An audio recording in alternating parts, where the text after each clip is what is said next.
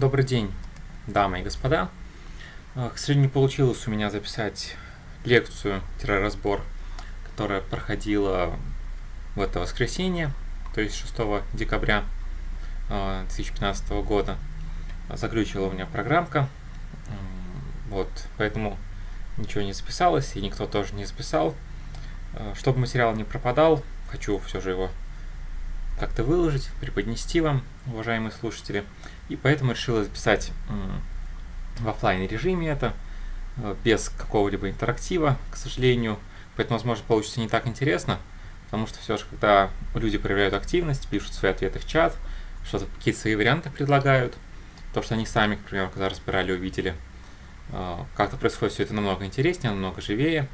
Вот. Тем не менее, постараюсь рассказать э, почти так же хорошо, как рассказал в это воскресенье, опять же. Эм, так что приступим. Разбирал я три партии, две партии чемпионата Украины и партию э, Гобарона чешского. Немножко о турнирах сразу расскажу.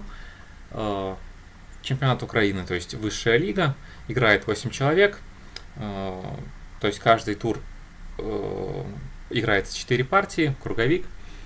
Э, Выиграл Андрей Кравец этот турнир. Э, на втором месте оказался Дмитрий Богатский и на третьем месте Артем Кочановский. Э, немножко неожиданно для меня была такая расстановка. Не ожидал я, что кто-то сможет потеснить Андрея и Артема на первом и втором месте. Кто именно из них займет какое, было для меня не совсем понятно. Вот, но был почти на 100% уверен, что первый и второй поделят именно они. Но, тем не менее, Дмитрий Богатский очень сильно очень хорошо сыграл, показал очень достойную игру, очень приличную, а, красивую.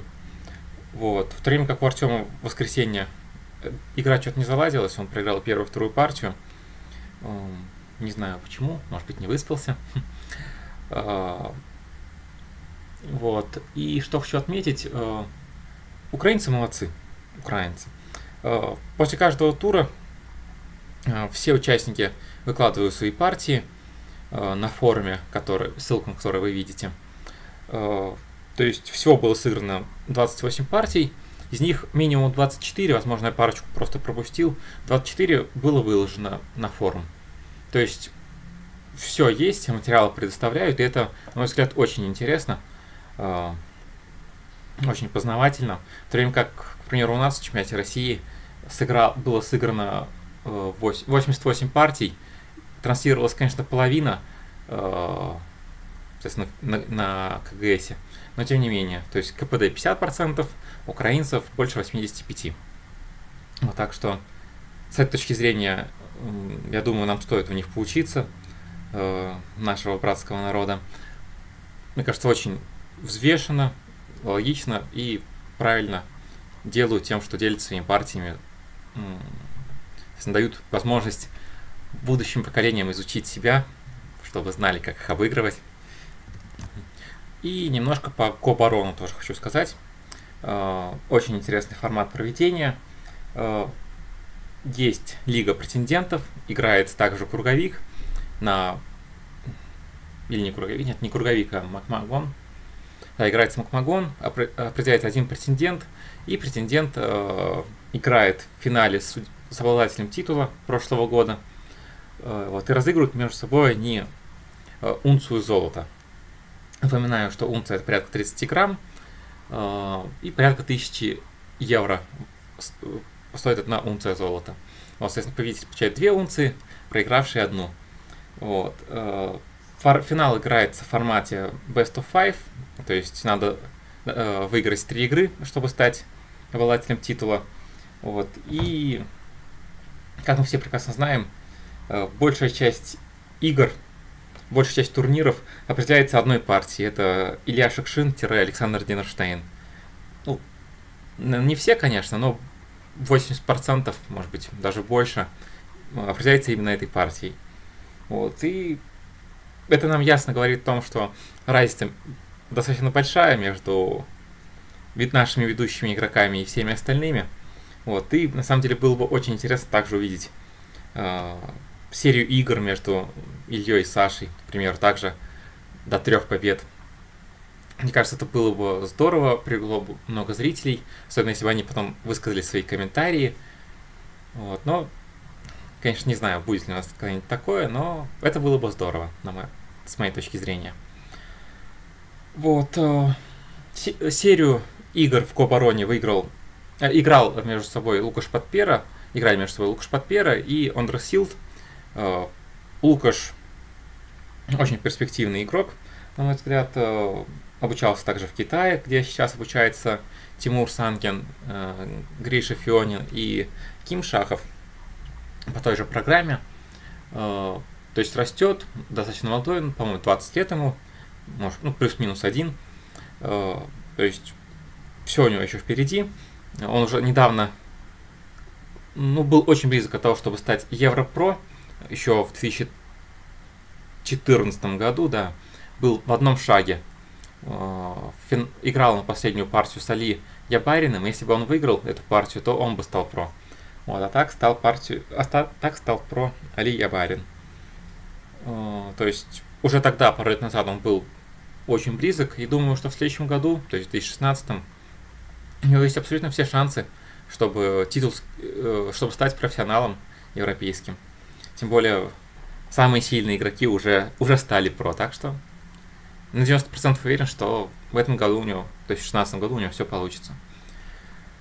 Э, так, ну ладно, о той партии немножко попозже. Расскажу вам про партию Артем Кочановский и Дмитрий Богатский. Белыми играет Артем, черными Дмитро. Партия получилась очень интересная. Обучался Дмитрий в Китае, Дмитро. Э, то есть у него японский стиль, это сразу станет понятно.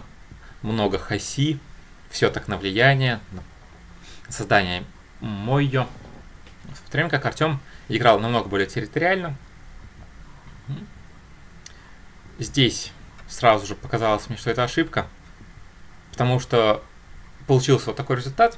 Давайте его сравним с тем, что считается однозначно в пользу черного. То есть какое фусеки.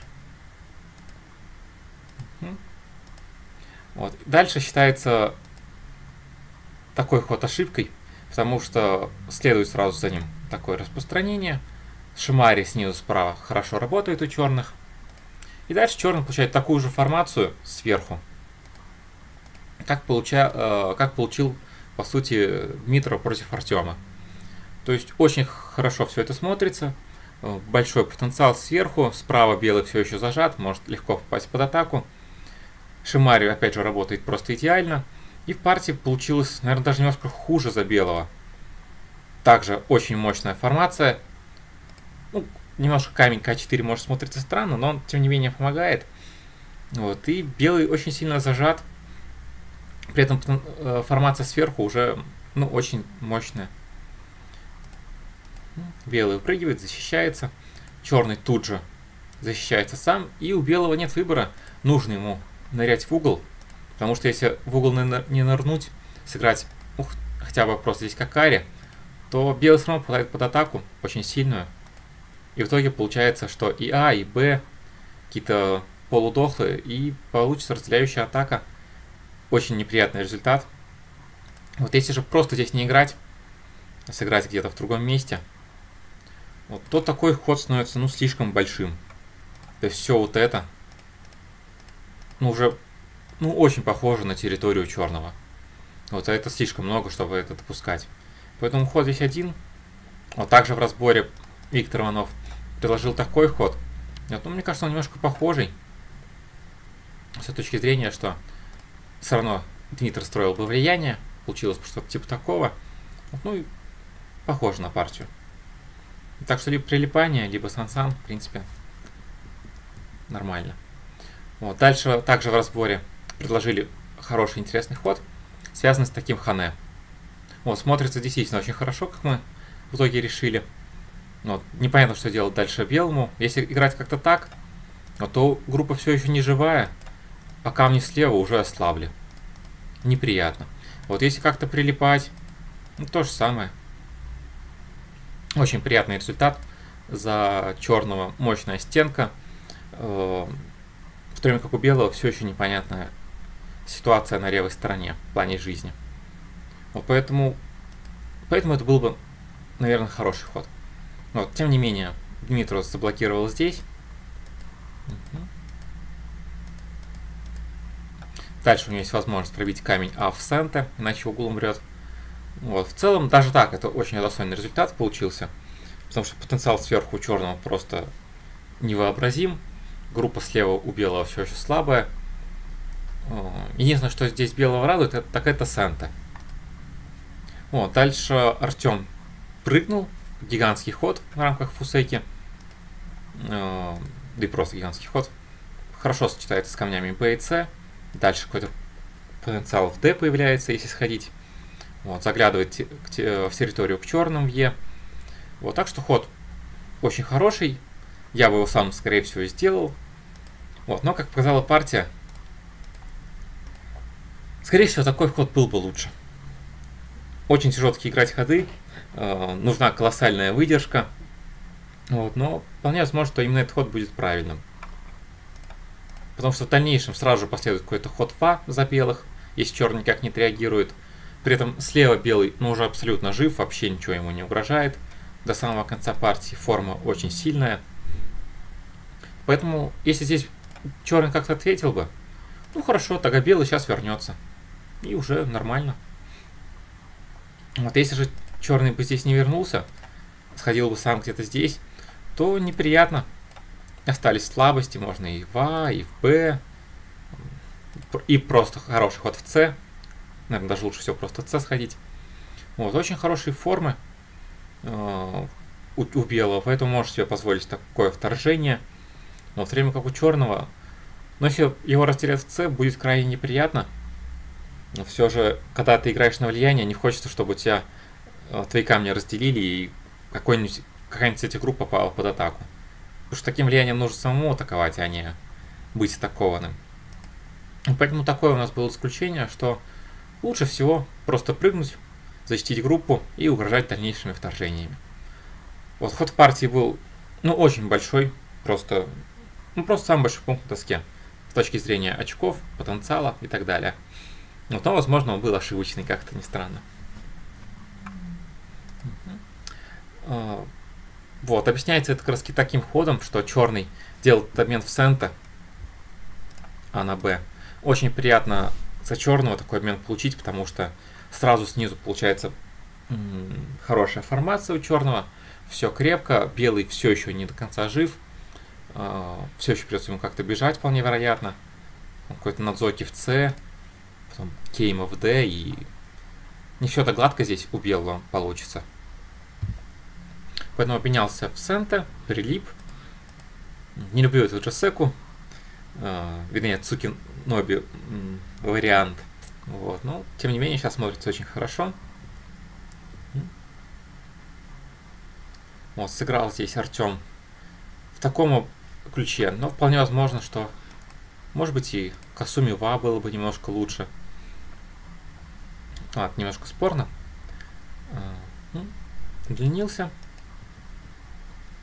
Натыкал, на, натыкал парочку проверочных ходов. И дальше пришли мы все же, опять же, к заключению, что лучше все здесь просто бросить. То есть занять большой пункт, к примеру, здесь. Смотрится весьма неплохо. Большой потенциал также у белого уже появляется. Вот, а черный. Ну, все еще осталась слабость ва. Не обязательно ее сейчас использовать, как Артем решил в партии. Вот, и как-то и камни Б усиливаются, если сходить на правой стороне косвенно. Вот, так что Кажется, такой ход более правильным. Вот Артем решил сразу же порезать. Вот, и, наверное, это была ошибка. Порезал. Дальше соединился. Белый. Черный здесь прыгнул. Так же, как и белый удлинился. Вот и дальше, наверное, ход, который партию Дмитрий, Дмитрию выиграл, э, это простое разрезание. Вот, возможно, Артем не заметил, что этот ход работает. Подумал, что как-то черный будет пытаться здесь сыграть. Вот, но, тем не менее, показал э, свои клыки, свои зубы, оскалился. Вот, и порезал. Очень мощный ход оказался. Поэтому, скорее всего, за белых это была, опять же, ошибка. Был приложен такой прыжочек. Мне вот такой нравится. А, заставляет он черного как-то здесь реагировать. Вот если черный сыграет как-то как сюда, дальше у нас появляется шикарное приложение сюда. Имя Ай. Либо А, либо Б. Вот, и очень хорошая у белых форма получается. А, черный, наоборот, должен как-то о своих формах заботиться. Вот, и партия складывается в таком ключе весьма неплохо за Артема. Угу. Вот в партии был сыграна Кейма, и это оказалось, скорее всего, проигрышным ходом. Ход, которым Артем партию проиграл. Получил здесь Артем две слабые группы. А слабая, Б слабая.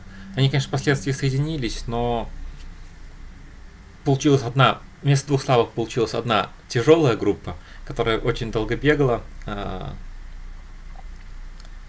которая, по сути, очков белому совсем не принесла, в то время как черный на атаке все набирал и набирал. Это все Санта. Прыгнул здесь. Вот, дальше у меня было опять же предложение избавиться от этого бремя. Ну хорошо, черный здесь заберет.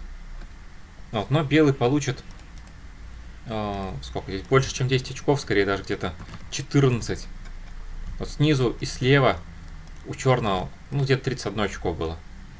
Вот, в итоге, что мы имеем? Слева белый полностью жив, все крепко, все надежно. Дальше еще какой-то даже Йоса есть там, к примеру, ва. Вот, то есть у черного не 31 очко, может быть, а чуть меньше, даже у белого может чуть больше быть. Э, и, соответственно, белый полностью жив, что самое главное. Ему больше никуда не нужно бежать, он уже полностью жив. Есть даже, даже парочка колгросс абсолютных, даже больше, чем парочка у белого снизу. Вот поэтому, ну хорошо, я соглашусь, что, наверное, за черного чуть-чуть лучше сейчас. Но тем не менее, у белого просто нет проблем, все крепко, все надежно. Вот в партии Артем потащил все это. Вот, но как показала дальнейшая игра, все вышло не очень. Должен здесь белый спасаться, бежать. Все это время выбивают, э, мешают ему строить глаза. Забрал черный слева всю территорию. Как вы помните, показывал я прошлый вариант. Таком ключе у белого слева территория. В таком ключе все, э, всю левую сторону черный спокойно забрал. Сверху всю территорию также удержал. Забрал еще эти два камня. Тоже весьма много. И вынужден здесь белый ход добавлять, выживать. Вот. И что мы имеем? Удержал слева черный, по-моему, 28 очков, мы тогда говорили. Сверху Хусранов всю территорию почти удержал. И что самое важное, у черного получилась гигантская стенка на всю доску. И темп. Вот при этом белый особо территорию-то не получил. То есть слева у него было 14 очков примерно, мы говорили. Сейчас у него 2 очка, это 2 глаза. То есть белый потерял 12, черный э, почти ничего не потерял. Э, ну, 3 очка, на 3 очка у него стало меньше. Но взамен он получил крепкие очки сверху и стенку на всю доску.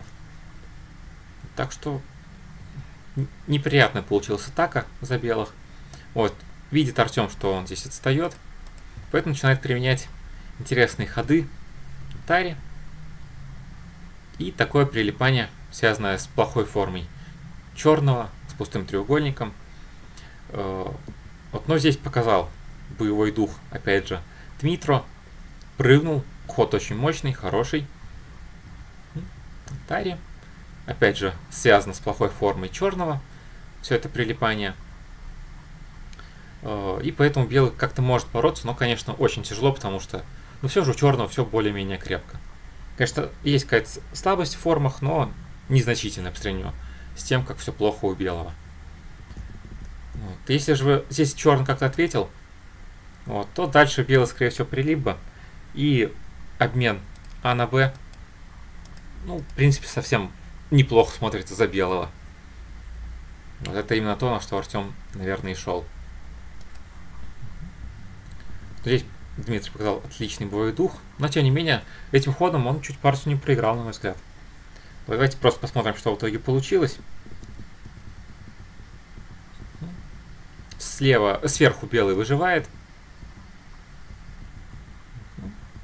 Выжил в этом ключе. Черный должен здесь тратить ходы на выживание своей группой, на усиление своей формы.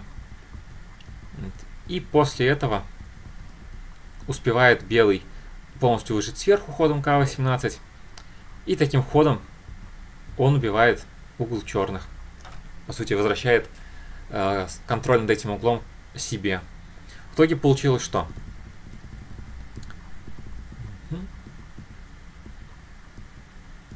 Получился такой результат. Вот, и черный что в итоге забрал?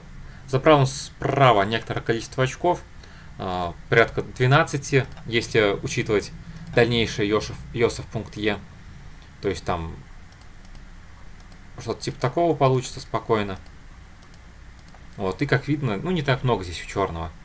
Вот, плюс он забрал, конечно, несколько камней А, Б и С. То есть это еще 6 очков. Вот, но тем не менее, при том, что какая-то стенка была, вышло совсем немного. Удержал белый справа всю территорию спокойно. И угол тут удержал, убил здесь черных. И все очки сверху черный потерял в районе квадратиков. Там теперь несколько очков у белых даже получилось. Вот, то есть... Э, то есть атака на самом деле не так хорошо прошла за черного. Вот связано это прежде всего, на мой взгляд, было с э, тем, что не сходил критический пункт здесь Дмитрий. То есть сейчас вот просто в угол не нырять, Сансан никуда не убежит, всегда можно его успеть сходить. Э, ключевой пункт здесь, скорее всего, такой. Угрожает, ну, соответственно, разрезанием в А. То есть черный может соединиться, забрать все очки. И что самое плохое, у камней Б, С просто-напросто нет базы. То есть даже если отдать Атаре, ну как дальше форму строить?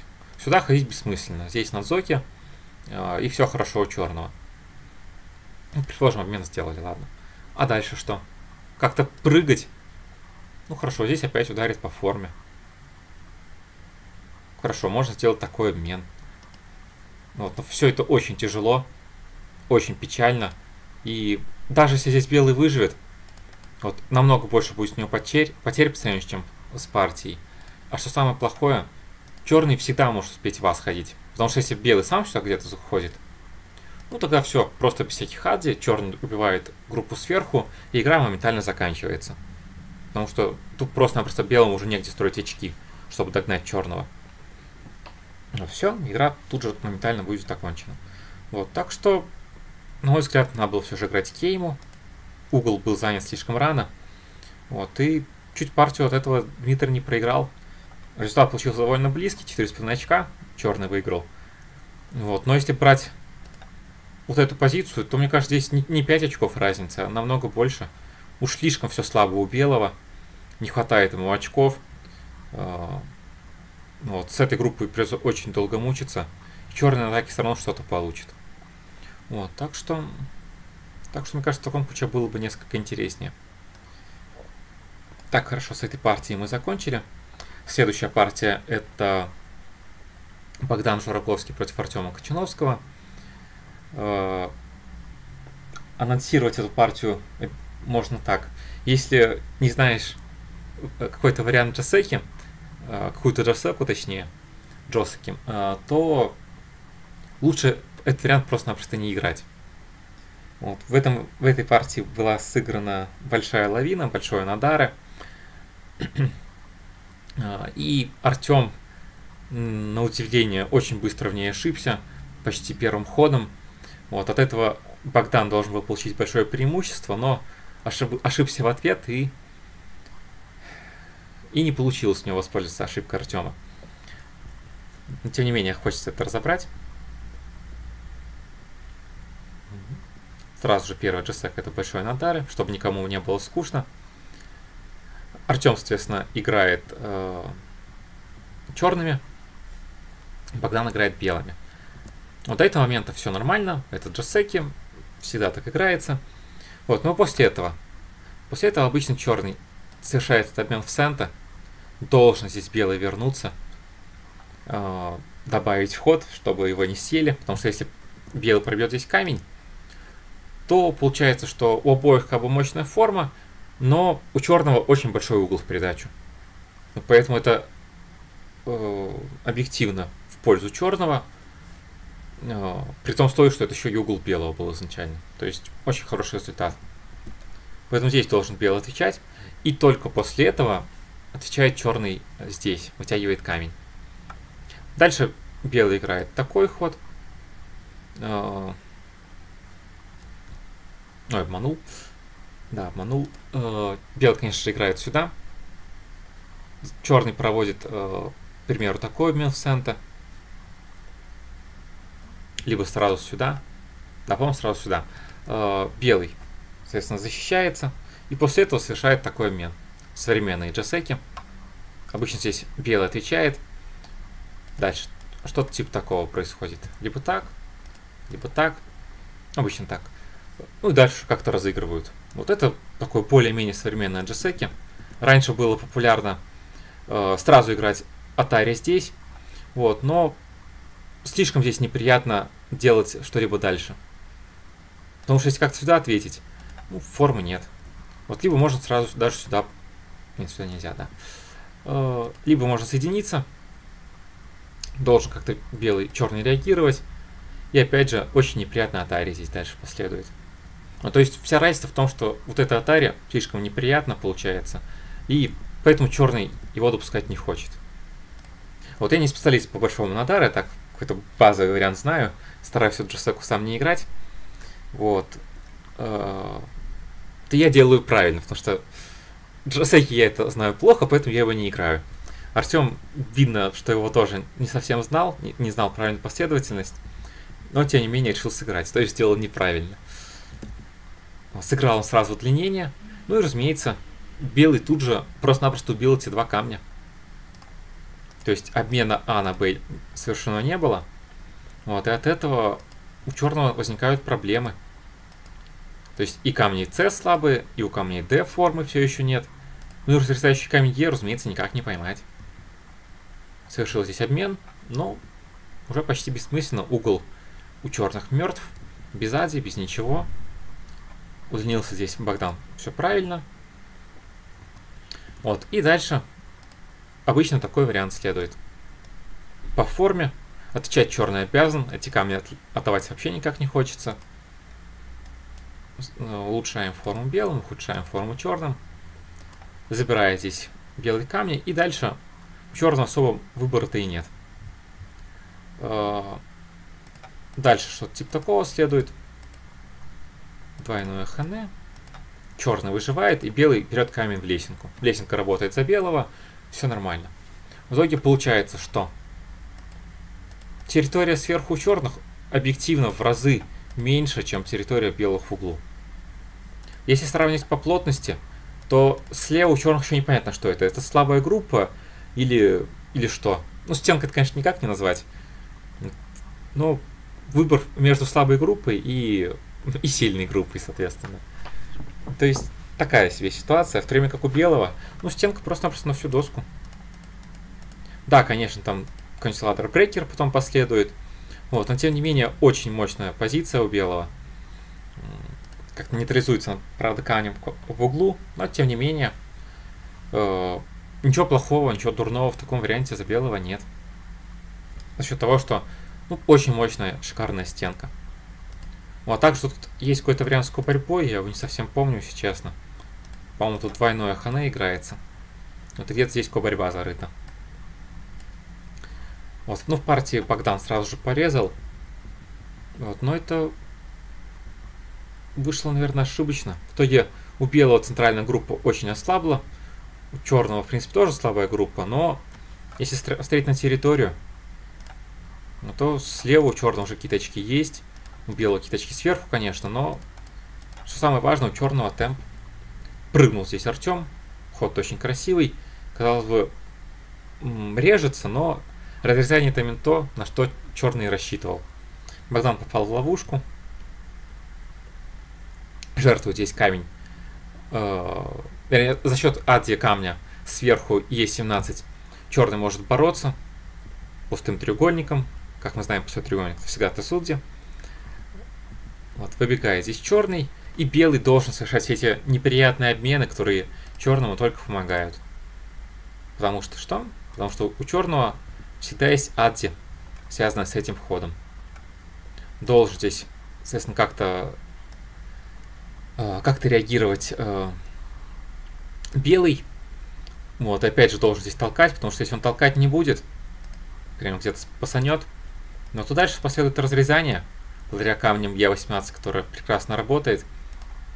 И дальше такой ход.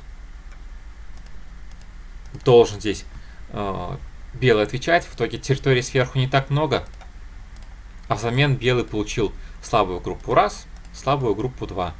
И что самое важное, ну, вот это все смотрится весьма неплохо уже за черного. За счет того, что два камня в центре отрезаны, очень слабые. Поэтому белый здесь бороться просто-напросто не может. А компенсация в виде территории недостаточно. Так что вынужден белый толкать дальше. Но это очень неприятный обмен, опять же. То есть очень сильно ослабели камни А. Тем самым ослабели кам... Э, группа С. Вот, а территория сверху, она составляет порядка 30 очков. Это совсем немного. А, а у черного потенциала стало на правой стороне просто огромное количество. Скажем так. Вот и что самое важное, есть цель для атаки. Богдан здесь камень потянул. Вот, но как Миша Светловский э, заметил, с двумя зайцами погонишься, и этого не поймаешь. Соответственно, хочет Богдан спасти обе свои группы, э, и группу А, и группу С. Вот, но ошибочно это решение. Слишком тут слабо, чтобы как-то бороться. Вот, тем более, когда черный уже так усилился и слева, и сверху. Поэтому здесь ход один, все это жертвовать. Здесь черный как-то бы камни эти добирал, либо таким ходом, либо каким-то таким. Он как-то камни бы добирал и убил его темп. Спокойно можешь сыграть на правой стороне или на нижней стороне, как Ари к углу. Может быть, Шимари построить, кстати, тоже хорошо смотрится. Сразу какое-то потенциальное разрезание в или просто прыжочек в Б, и там черный уже и без базы может остаться со временем. То есть, просто занять большой пункт дальше хочется. Вот у белого более-менее крепко уже в центре. Ну, более-менее. И, ну, нормально, адекватно. Вот, тут Богдан потянул. В итоге усилил группу в центре справа, э, ослабил левую группу. Защитил эту группу, ослабил эту группу. Вот, а черный рад, все плотности у него работают. Две слабые группы у белого в итоге. Вот, и здесь Богдан камни пожертвовал. Вот, но это 20 очков сразу же. У белого сверху было 30, а, черный уже получил в центре 20, а, слева у него там десяточка тоже нашкребется. То есть по территории все нормально. Ослаб, конечно, камень А, вот, но это не, не такая большая потеря с учетом того, что камни Б, ну, очень слабые. И у черного в округе все настолько крепко, что этим камням, ну, приходится очень тяжело. Надо здесь ход добавлять, потому что если как-то ход не добавить, то вот это все еще может и в слабую группу как-то превратиться. Ну, плюс-минус. Или хотя вот так должен здесь еще реагировать. И черный уже с нормальным углом, достаточно большим, абсолютно живым, может э, чувствовать себя просто прекрасно. Вот и группа в центре, разумеется, все еще слабая. Можно на атаке все еще получать очки. Все приятно.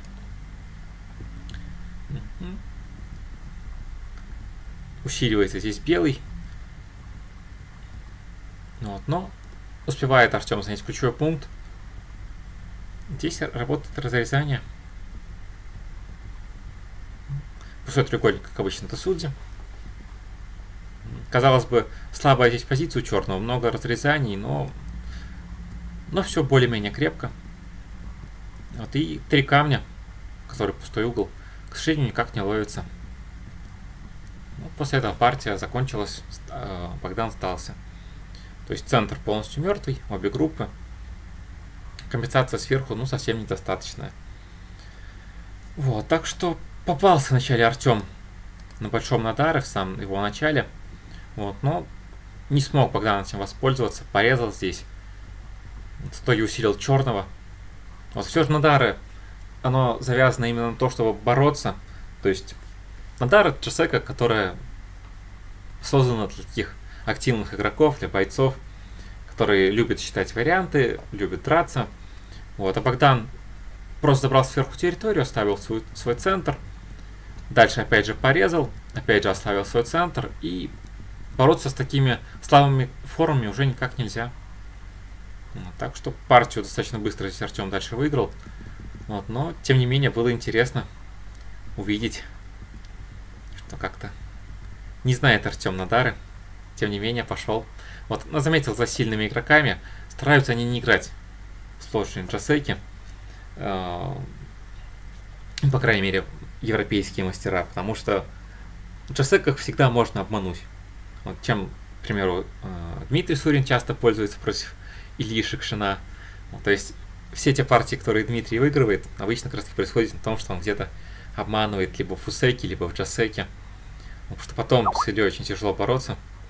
А, ну, так что сильные игроки обычно стараются на тяжелые джасеки не идти. Так, осталась у нас одна партия. Партия с Го Барона. Играет он Силд белыми, черными играет Лукаш Подпера. А, сильная японская школа Фусеки у Силта.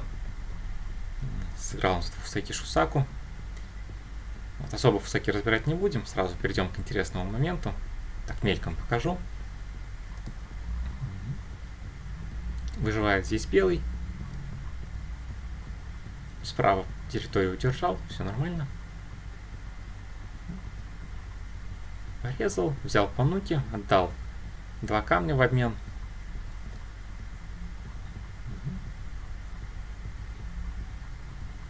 Ну, пока все нормально, без особых ошибок явных. Дальше прилип, построил здесь белый форму. И дальше такой ход. Ход, казалось бы, абсолютно правильный, тоже, скорее всего, его сыграл. Бел, черный здесь как бы напрашивается таким ходом на неприятности, потому что ну, дальше вот такой, два таких стандартных хода, которые в партии были сыграны. Создают они две точки разрезания. Разрезание в А, разрезание в Б. То есть, э, э, как бы должны быть здесь у черного проблемы по ощущениям.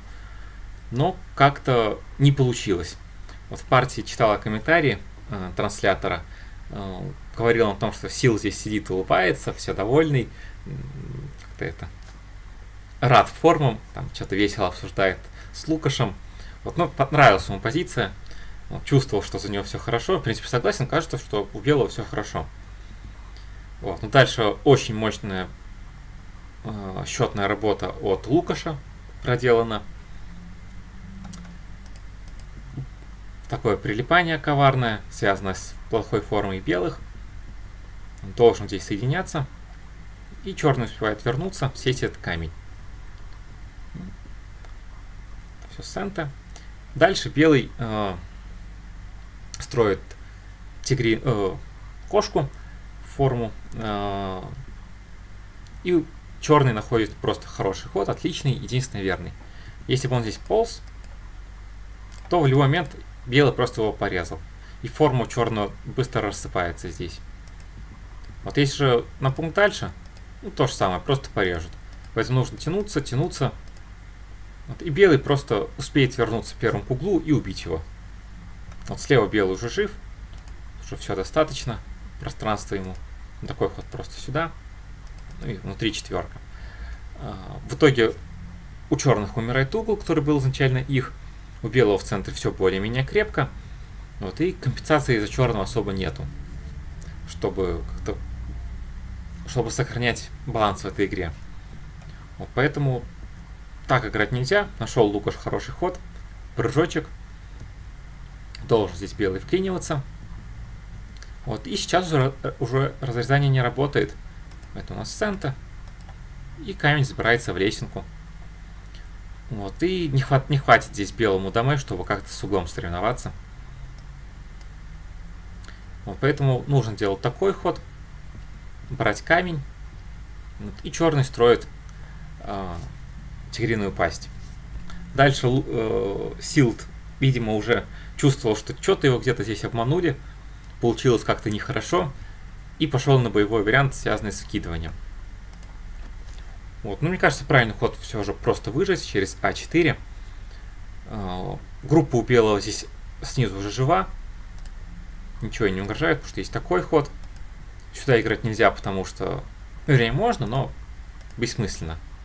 Нужно играть в N3, и белый выживает таким ходом. Сюда, разумеется, играть нельзя, дамы тут нету. Либо такой, либо такой, либо такой. То есть нельзя, все это умрет. Вот, поэтому у белых здесь группа более-менее жива. Не должен здесь белый больше тратить ходы.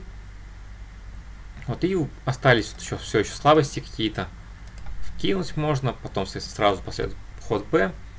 Вот и, и нормально. Вот. Э, ну, кажется, похуже, наверное, чуть-чуть уж за белого смотрится, но тем не менее это лучше, чем то, что получилось в партии. Давайте сразу вернемся. Как мне кажется, было здесь правильно сыграть изначально. Хочется вот здесь вот просто все это пожертвовать. То есть таким ходом. Дальше что делать? Ход только один. Атари. Белый здесь соединяется. Вот, ну, черный играет в таком ключе, к примеру. Дальше либо такое прилипание, либо какой-то такой ход. Просто эти камни скармливаются.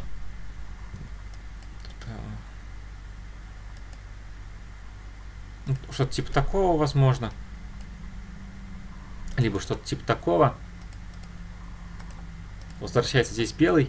Вот, снизу, как мы стрели, белый уже более-менее жив, опять же. Здесь как-то сюда. Понятное дело. Спокойно здесь белый выживет. Ну, то есть проблем с жизнью снизу нет. Вот, а слева получается хорошая стенка. Весьма достойная. Вот, по очкам, если смотреть, то территория черно-белых справа, ну, по факту, она компенсирует территорию черных снизу справа и в углу снизу слева. Ну, плюс коми там еще. Ну, поэтому как-то более-менее ровно. Очки сверху белого тоже какие-то есть. Но что самое важное во всем этом результате, вот эта плотность, она, разумеется, принесет большое количество очков. А, то есть спокойно здесь белый может продолжать игру в таком ключе. Ну и как минимум здесь ровно. То есть адекватная позиция. А, по очкам все нормально слабости у белых особо нет. А, вот, и как следствие, совсем непонятно, кто еще выиграет эту игру. Вот, но Силт решил обострить, пошел здесь на такой ход. Очень остро сыграл. Вот Лукаш очень красиво здесь все посчитал. Вот, и вместо такого хода на выживание пошел Силт на борьбу. Вот такую вот. Очень много коугросса у обоих верхнем правом углу. Давайте это просто пролистаем.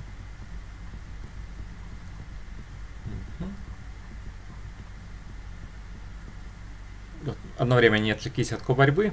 Ну, ну, неплохое это решение за черного, потому что знаю, что у него и коугроз больше, и теперь много коугроз на верхний левый угол появилось.